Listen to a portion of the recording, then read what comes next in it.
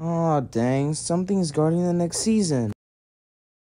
Alright, what do we have here? Oh, wait, there's nothing. Ugh.